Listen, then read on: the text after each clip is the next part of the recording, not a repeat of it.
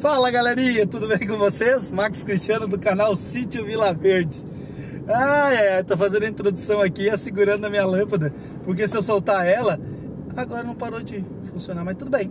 Voltando ao assunto, galerinha, vamos então recuperar aí, capturar ou salvar mais um enxame na cidade. Os bombeiros nos ligaram, olha aí, ó, segurei. Os bombeiros nos ligaram aí para a gente capturar uh, um enxame que está picando agora alguns uh, picou alguns gatos ali do, do, do, do, casal, os animais de estimação e tá numa não sei dizer, mas é tipo uma torneira, a gente chama aqui de Corsã, que é o que que é água tratada aqui, o nome da empresa que né, que cuida é Corsã. Então tem tipo aquelas registros da Corsã, registro, aquelas casinhas de registro, e ali se alojou um enxame de abelha. Eu estava em São Francisco, uma cidade é, atendendo um cliente, recebi a mensagem, vi a foto e tratei com o cliente que eu ia voltar com o cliente, não dá, né? Tratei pessoa. com a pessoa que nós uh, iríamos então ajudá-lo, né? É, dessa força. Então cheguei em casa agora há pouco, aí são 7 horas da noite. Convidei a minha fiel escudeira, minha esposa, e estamos se deslocando para lá. Então fiquem com a gente nessa aventura aí, mais um enxame de abelha sendo salvo é, do fogo, do veneno ou até mesmo da morte. Fala galerinha, chegamos aqui ao local e olha só que interessante. Há poucos dias atrás a gente, é, nessa mesma rua aqui embaixo, a gente retirou um enxame do vídeo anterior que eu vou colocar no link da descrição para vocês. Aqui embaixo na mesma rua. E hoje, olha só, um amigo aí ligou para nós e pediu para a gente tirar o enxame. Vou tentar mostrar com a luz, ó, com essa luz aqui rapidinho. A Dani chega pertinho. Olha lá. Tem que chegar bem pertinho, Dani. Olha lá. Ó. Ai, amor, eu tô com medo. Ó, a Dani tá com medo. Mas eu vou mostrar pra vocês aqui, ó. Olha o tamanho do enxame. Que legal, né? Enorme. Enxamezão bonito. Então vamos ver se a gente consegue tirar esse enxame com sucesso e levar pra piária aí. Salvar mais um enxame aí da cidade. Vamos lá, galerinha. Vamos começar então, pessoal. Vou deixar a Dani aqui, ela fica perto da luz. Qualquer coisa ela só bota a ponta do teu corpo. E vamos começar então a aspirar e vamos ver que tamanho tem esse enxame.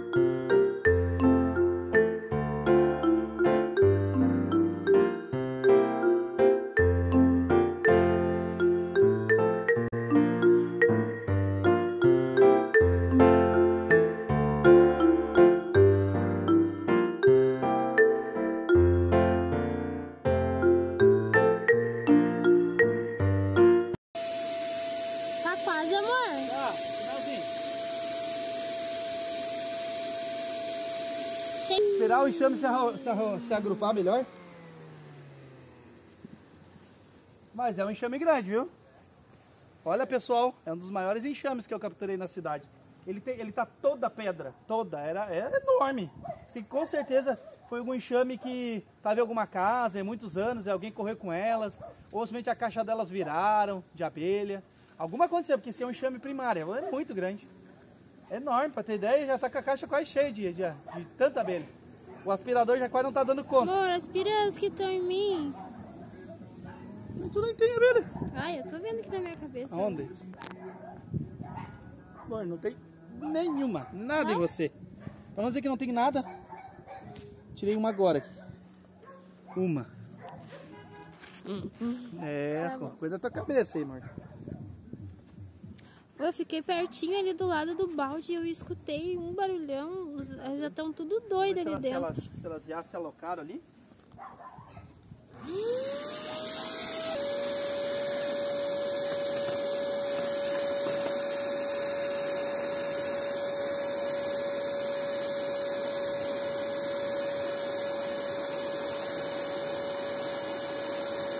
É muita abelha, hein, Max?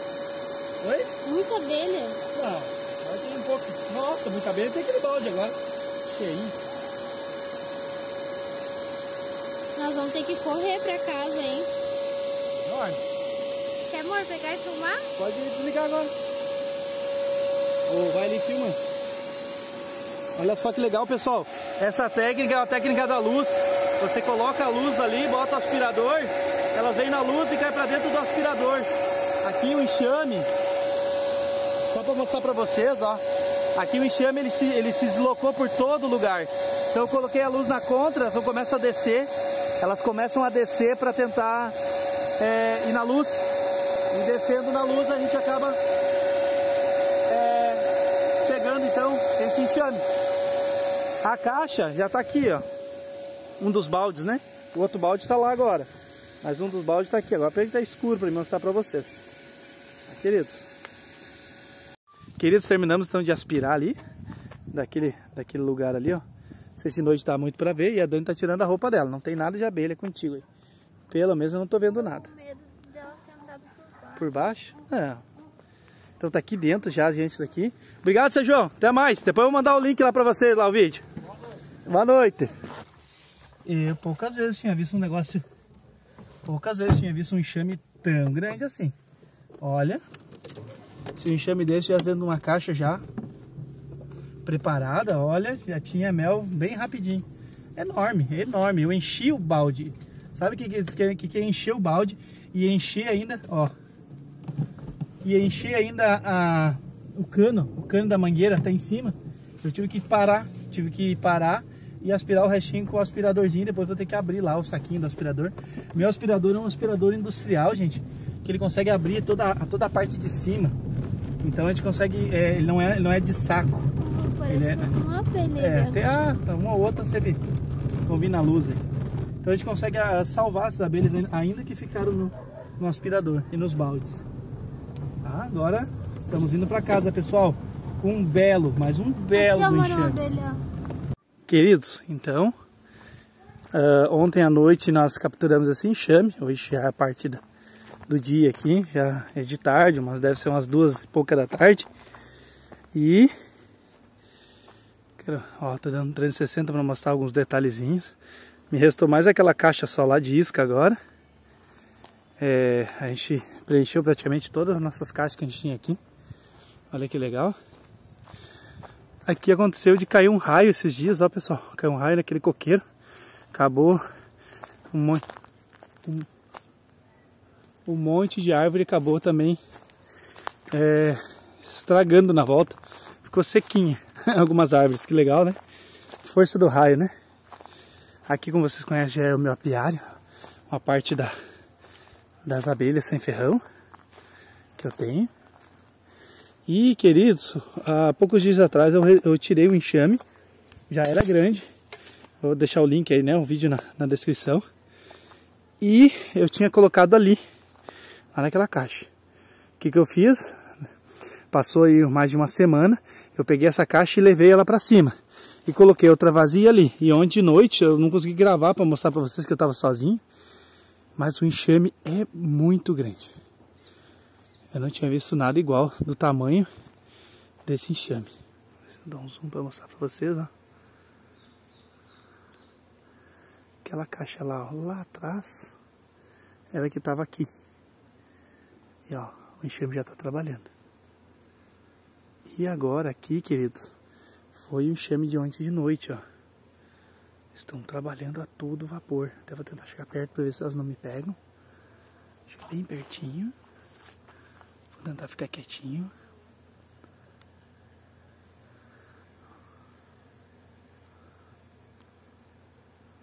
Tô bem quietinho, tem bastante barulho de abelha. Olha, olha o trabalho da entrada do alvado. é grande. Que o enxame que eu peguei ontem noite, esse último enxame é enorme. Então só para mostrar para vocês que funciona, tá? A gente coloca então o excluidor de rainha na entrada da caixa. Eu já coloco ali um alimentador de cobertura, a princípio deixo sem nada. Deixo ele só para parte do inverno, quando a gente precisar do inverno a gente faz um bife. Um bife que eu vou mostrar para vocês ali. E essas mamadeirinhas, eu explico mais uma vez, a gente não alimenta elas agora. Só quando a gente faz manejo ou quando chega a parte que não tem mais é, comida no ambiente mesmo, né, nas entre safras, para não deixar elas passarem fome, para manter o enxame forte, a gente faz então uma solução que é para ajudar o, o ninho, tá? A gente não alimenta as colmeias direto, até porque daí não tem dinheiro que aguente. ai, ai, ai, e até porque daí o mel também não ia ficar puro, né? Então, queridos, Ali a gente sempre deixa duas mamadeirinhas nas caixas, até aquela de trás não tem, porque a gente, né, botou lá pouco tempo e não, a princípio não precisa. Mas no inverno eu vou mostrar para vocês o manejo, aí daqui uns dias o manejo do inverno, que a gente faz aí com as colmeias, tá?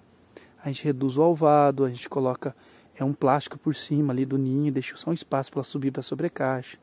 A gente usa esse alimentador de cobertura para fazer um bife. O bife consiste em mel, lecitina de soja, olha só que legal, hein? Farelo de farelo farinha de, de, de milho, levedo de cerveja e açúcar mascavo. A gente com mel a gente faz uma tipo um bife mesmo, um bife bem fininho com plástico. A gente corta esse plástico e as abelhas vão comendo esse composto no inverno, tá? No inverno a gente faz isso para deixar os enxames sempre fortes. E essa alimentação aí é líquida, no caso da mamadeira, a gente faz ali no inverno, geralmente em julho uma vez e julho outra vez para quando chegar agosto e setembro, setembro que tem a floração boa, agosto a gente já, já não, não faz mais alimentação. Né? Essa de, a não ser que a gente faz um manejo. Essa caixa aqui, queridos, para vocês terem ideia, esse ano já eu já troquei quatro caixilhas dela do ninho de baixo. Falta seis ainda. Aqui ali são enxames novos, são todos enxames novos, então estão todos com, com as, é, as caixilhas né, de baixo do ninho cheinhos. E esse aqui é o mega enxame que eu peguei ontem, numa caixa ali da Corsan, uma caixa de água ali no chão, muito grande mesmo, deu dois baldes ali de abelhas. Pessoal, enxame novo, então a gente usa pouca fumaça nela, tá? Tem que fazer o menor barulho possível.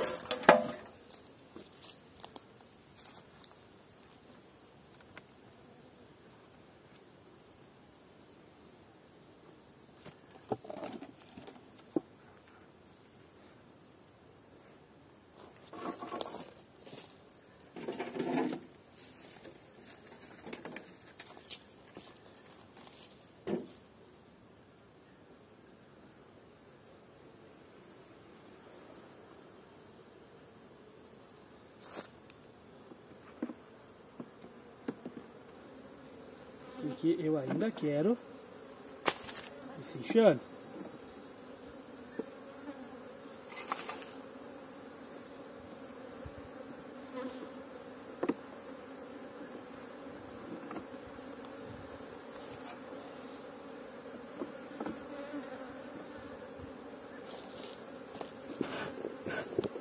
Eu peguei um cachilho lá daquela outra enxame que eu tirei, que eu troquei lá de cima, tinha família, coloquei aqui. Só que ele era desproporcional, era de uma caixa maior, tinha esquecido que essa aqui é uma caixa de isca minha. Tive que cortar fora. Tive que cortar fora e encaixar dentro aqui. O enxame já está puxando os favos novos. Isso é ótimo sinal.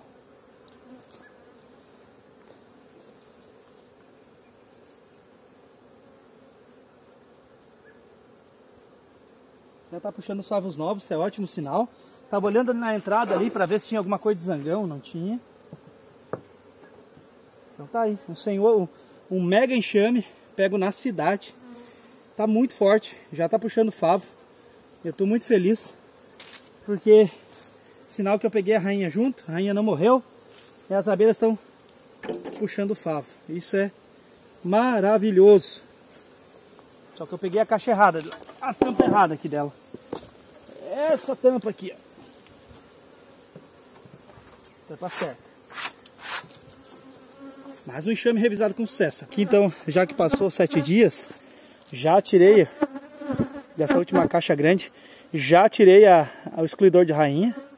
Coloquei já uma alimentação para elas, coloquei um favo com filhotes ali dentro, para ver se esse enxame enorme fica. Esse é o último enxame que eu peguei. E tá aí então, gente, mais um manejo especial para vocês. Então, meus amados, olha só, hein?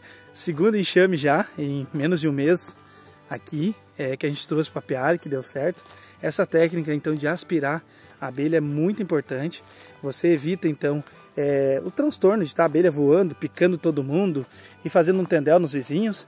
E essa parte do, da técnica, tu chega, aspira, pega dentro de um balde, bem tranquilo, leva para casa, coloca no apiário e elas acabam ficando, porque você não judia delas, né? Você não amassa elas, não, não machuca as abelhas, então elas acabam ficando.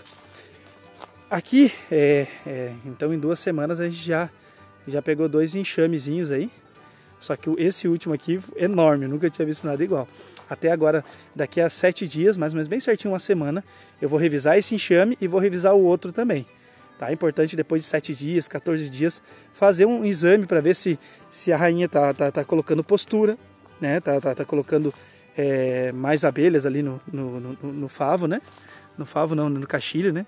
Se ela realmente está colocando é, a, as crias ali, se as operárias estão bem, Caso eu não ache a rainha e o enxame continue ali, eu posso tentar pegar de outra caixa um cachilho que tem uma realeira. E a gente pega então esse cachilho com realeira e a gente coloca, introduz nessa caixa. Em cerca de 15 dias ali, 21 dias, essa realeira nasce e daí temos um enxame novo, uma rainha nova. E é certo que daí esse enxame também não vai embora. Acontece muito da gente pegar um enxame desses voadores e às vezes tem uma princesa, é, ou várias princesas no enxame, né? E acabam passando pelo, pelo redutor ali de, de, de, de rainha, né? É, nesse caso, para você ter um sucesso, vamos supor, você pegou um enxame voador e você quer ter o sucesso, não perder ele, você chega, tira é, de outras caixas que você tem é, filhotes. Né? É, ali o cachilho com filhotes, com postura, e coloca pelo menos dois. Coloca bem no meio, bem no meio mesmo da, da caixa, tá? E o enxame é difícil ir embora. Agora só daqui uns dias que eu vou fazer a revisão. Eu quero ver se faço um vídeo daí mostrando essa revisão para vocês, tá bom, galerinha? Um grande abraço, fiquem todos com Deus e até a próxima, pessoal. Estamos ansiosos para saber quando os bombeiros ou alguém liga para nós, né? Qual vai ser o próximo enxame de abelha, onde será e como será. É tão divertido, é legal, a gente toma umas picadas, tem um pouquinho de, de, de transtorno ali, mas vale a pena, queridos, vale a pena, a gente salva, né?